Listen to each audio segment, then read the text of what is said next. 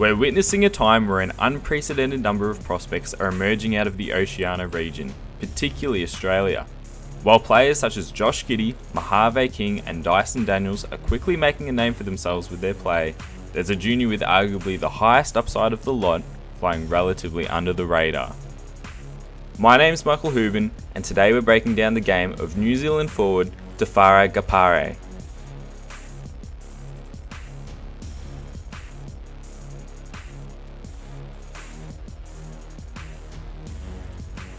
Born in 2003, the 18 year old forward out of New Zealand is currently in the middle of his final year of high school hoops with Scots College, located in Wellington. Most recent measurements list Gapare at 6'9 with a 7 foot wingspan. He is currently committed to George Washington University for the class of 2022.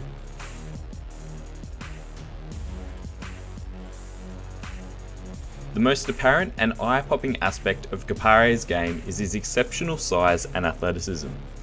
At 6 foot 9 with a 7 foot wingspan, Gapare has the perfect dimensions for a modern forward, which he combines with an elite combination of speed, mobility and hops.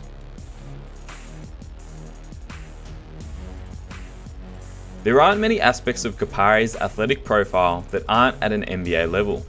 An explosive dunker of either 1 or 2 feet Gapare is constantly playing above the rim on both ends of the court.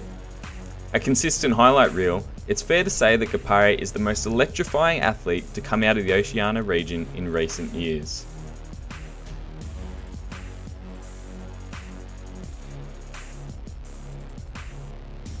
Given room in transition, Gapare reaches elite speeds in the open court for his size to break out and finish plays with regularity.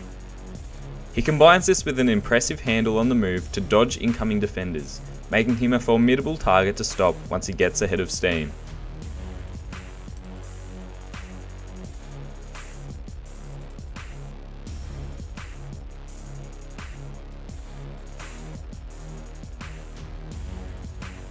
Much like LaMelo Ball's experiences as a junior afforded him the freedom to experiment and diversify his skill set, Gapare was never funneled into playing purely as a traditional big, and has been given plenty of opportunity to develop his perimeter game in the half court. Gapare will often be seen handling the ball in the half court, operating out of pick and rolls and isolation situations where he uses his exceptional handle and great first step to attack the defense and finish at the rim, whether off the dribble or penetrating off closeouts. Over the last year, Gapare has added an extra level of shiftiness to his change of direction moves off the dribble, freeing up lanes to drive where he finishes with excellent footwork and great touch. He's also demonstrated a basic ability to back defenders down at times and use his size to get to the rim. While he doesn't have an advanced post game, it's a tool he can effectively use to take advantage of mismatches at his current level of play. The freedom Gapare has taken advantage of during his development is best exemplified by his ability as a passer. Displaying great confidence and creativity, Gapare is an unselfish player who likes to get his teammates involved. In transition, Gapare keeps his head up, finding cutters on the move and frequently creating easy offensive opportunities by hitting leak out runners with precise full court passes. In the half court, Gapare shows great patience probing the defense, reading the floor and flashing advanced reads with a variety of different pass types as he attacks off the dribble.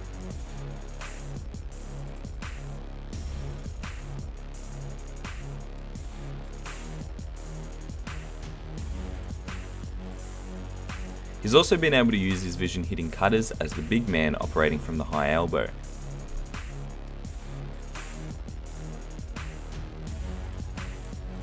To top it all off, Gapare is a capable shooter from deep. With sound mechanics, Gapare can space the court off the ball and act as a pick and pop threat as a screener. He's not a consistent threat yet, but he's a willing shooter that doesn't lack confidence, and when the jumper is dropping, it opens up his offensive game, making him even harder to guard. Most impressively, he has shown great comfort stepping into pull-ups against sagging defenses, making them pay for going underneath ball screens. With opposition teams naturally playing in for the drive, Gapare's continued evolution in this area will keep defences honest and open up driving lanes. At his best, he has even shown great comfort pulling up or stepping back off the dribble, with such flashes tantalising legitimate off the dribble jump shot creation that is near impossible to guard at his size.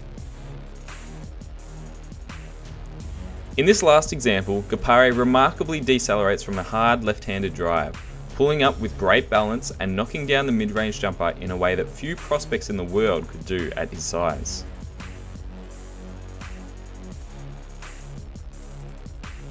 Defensively, Gapare utilises his size, length and athleticism to intimidate drivers as either the primary or help rim protector. Gapare also possesses a very quick second jump, meaning he can recover from block attempts to disrupt multiple attempts in a row or quickly rise for a defensive rebound. While his physical tools alone are enough to provide a presence at the New Zealand high school level of play, He's also demonstrating extremely good timing and instincts as a shot blocker that will translate at any level. When locked in, Gapare is a high level deterrent in the paint. It's a handy tool to have on the wing, but most importantly it improves his viability in the front court, either as the 4 man or a small ball 5, particularly once his body develops.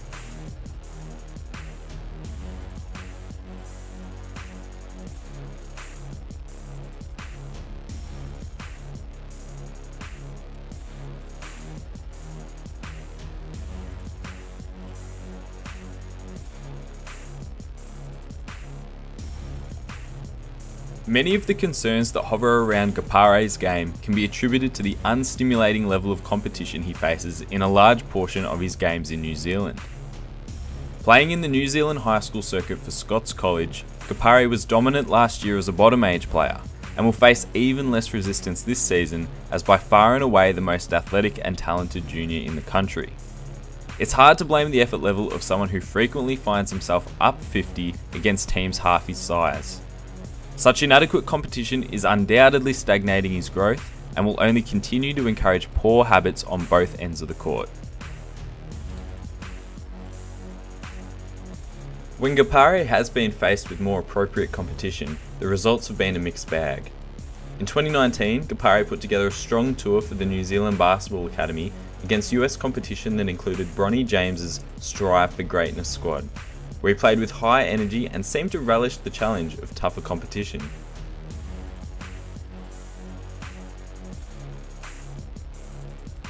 He also represented New Zealand at the 2018 Under 15 Oceania Championship.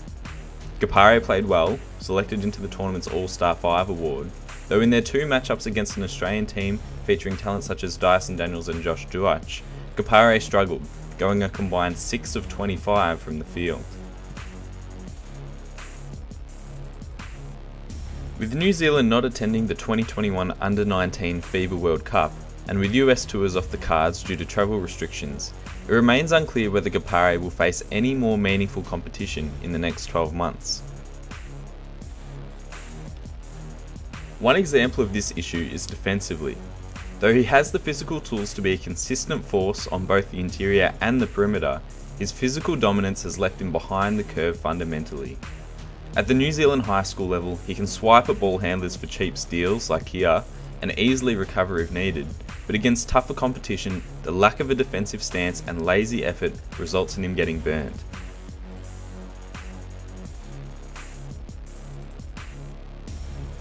Here, instead of giving up an easy 2 by swiping at the ball, he could have simply retreated and contested the shot against a much smaller offensive player. When he is locked in, Gapare has shown the ability to stay with guards defensively. Here, Gapare picks up 5-star point guard recruit Dior Johnson full court to great effect. Gapare has a similar impulsiveness as an interior defender, where he has the propensity to jump at fakes. As talented a shot blocker as he can be, Gapare often leaves shots uncontested that have no right to be, as he loads up to jump for the highlight rejection instead of simply using his size and verticality to deter attempts at the rim. While the freedom of developing his skill set in New Zealand has had its benefits, Gapare may undergo an adjustment period figuring out his role at higher levels. As defences improve, he may need to find a balance between his natural creativity and confidence making plays and a greater judiciousness as he finds out what works and what doesn't against stronger defenses.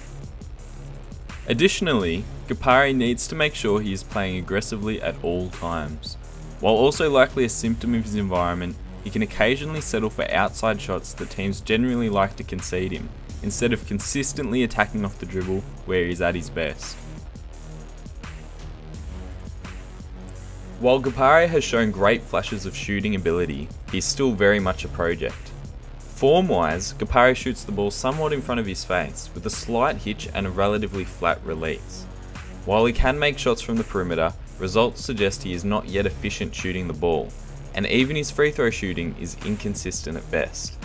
In order to maximise his potential on ball abilities, Gapare's ability to tweak and refine his shot over the coming years will be key.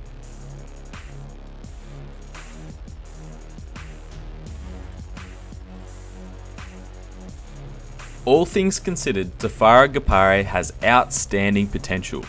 It's hard to find anything Gapare doesn't have the ability to be great at, and yet there is still so much room for future growth. There are, however, legitimate concerns that pose a threat to his ability to be a productive player at a high level in the immediate future.